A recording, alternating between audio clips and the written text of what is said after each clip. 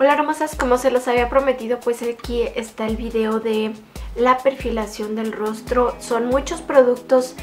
La verdad es que eh, la perfilación que estoy haciendo es como para fotografía, para, para un evento especial o que vayan a salir y que se quieran ver así perfectamente bien perfilado en fotografías o en, en video, etcétera. Pero realmente son muchos productos. Lo que, lo que quiero eh, enfatizar en este video es que eh, no tomen tanto en cuenta la cantidad de productos, sino la manera en que estoy perfilando, donde se ponen las partes claras para levantar el rostro y las partes oscuras para perfilar. Eh, mi rostro es ovalado, va a modificarse la manera de perfilar dependiendo del tipo de cara si quieren que les haga algún tipo de demostración con otro tipo de cara, por ejemplo redonda, cuadrada y corazón, por favor escribanme en los comentarios para eh, buscar una persona que tenga la cara de esa manera y ejemplificarles cómo, cómo lo haríamos. Espero que les guste este video y pues nos vemos en la próxima. Bye bye. Para iniciar aquí ya tengo aplicada la base de maquillaje, estoy usando la Double Wear Light en tono 4 y me gusta esta paleta de motifs para hacer la perfilación porque tiene varias tonalidades que nos ayudan a mezclarlas para lograr la tonalidad que deseamos. Estoy mezclando las dos más claras para iluminar por debajo del ojo en forma de triángulo. Y si se pueden ver con esta brocha estoy a toquecitos aplicándola muy cerca de la base de la nariz porque ahí es donde empieza la perfilación ahí. Y lo demás en triángulo. Lo que sobra en el pincel lo estoy difuminando por encima de mis cejas sin llegar a la línea del cabello. Recuerden que como tengo la cara alargada, la quiero acortar. Entonces no me voy a ir hasta arriba, simplemente por arriba de las cejas.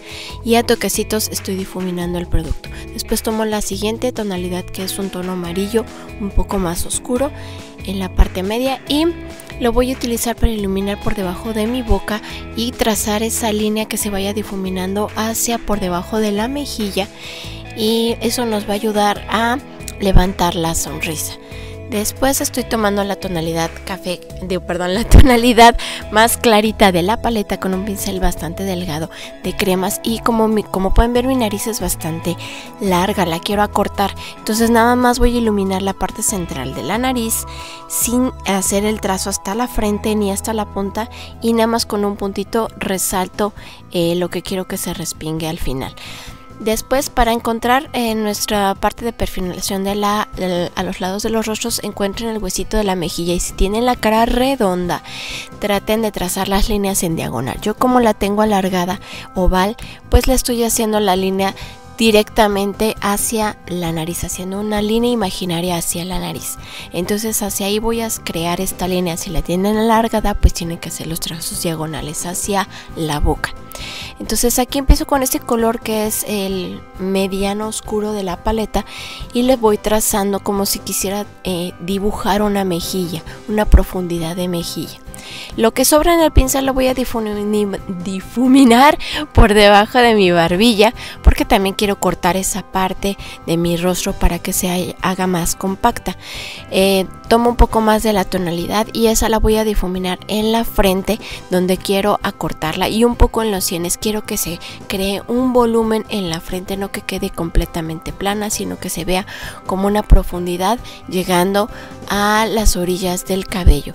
Como siempre primero lo compacto a toquecitos y después lo voy arrastrando muy levemente para que se integre. Para terminar de difuminar todo esto, estoy mojando esta brocha también de Motips que es abullonadita de doble fibra y la mojo con un poco de fijador maquillaje. Esto nos va a ayudar que aparte de que se nos va a fijar el corrector o, o la perfilación, pues nos va a ayudar a integrar los colores y que no haya ninguna línea entre cada tonalidad. Esto también nos va a crear un color de transición entre cada una de las tonalidades que estamos usando y se va a ver un look perfectamente eh, integrado en el rostro.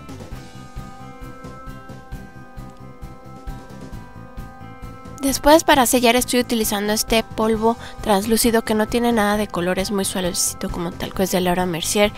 Eh, lo estoy utilizando solamente para sellar las zonas que a mí en particular eh, son más mm, grasositas que durante el día se me hacen más brillosas y eh, puede ser la frente, hay gente que nada más son las mejillas o la nariz, a mí es un poco la frente, eh, por debajo de los ojos para sellar el corrector, alrededor de la boca. Y listo, lo que sobra del pincel lo difumino en la parte que sobra de la cara. Después para darle un toque más bronceado y que se integre más a mi tono del cuello, estoy utilizando esta, este maquillaje en polvo que es el eh, Fix de MAC en el tono 42 me parece. Y le estoy difuminando con una brocha grande, no quiero que se quede todo el color, simplemente las orillas de la cara estoy sellando la perfilación. Para la nariz que me han preguntado mucho, utilizo esta paletita que es de Ilamasqua, que es un... Eh, perfilador con iluminador y el color de este café es muy frío, es un café pardo grisáceo que me encanta y lo único que hago es perfilo la punta de la nariz, creo dos triángulos a los lados de la punta de la nariz, arriba no le hago absolutamente nada, simplemente creo la ilusión de que tengo un poquito más bolita la, la nariz al final y pues eso es todo con un pincel bastante suelto y de fibras naturales. Después para iluminar las partes altas de el rostro estoy utilizando este pigmento de la marca de Balm que es de No Money No Honey. Y pues eh, lo utilizo con una brocha de abanico sobre el, labio superior y también para las eh, la parte más alta de las mejillas y un poquito en la frente para dar un bronceado.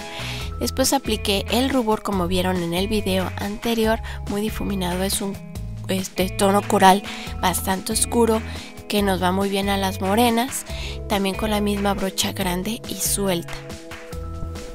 Y pues este es el resultado como habían visto en el, en el video anterior, eh, es la perfilación del, rostro, la nariz se ve mucho más definida, las mejillas se ven eh, a una altura más alta, este, utilizando sombras y rubor más oscuro. Y pues obviamente al hacer esa dimensión de la cara, la mía es larga, la quiero acortar. Obviamente si tenemos la cara muy redonda, pues la vamos a tratar de alargar con líneas eh, lo más que se puedan en diagonal. Y pues bueno, ese es el, eh, el video, espero que les haya gustado. Les mando un besito y nos vemos en la próxima. No olviden comentarme qué más quieren ver y suscribirse al canal además de acompañarme en Instagram y Facebook. Gracias, bye.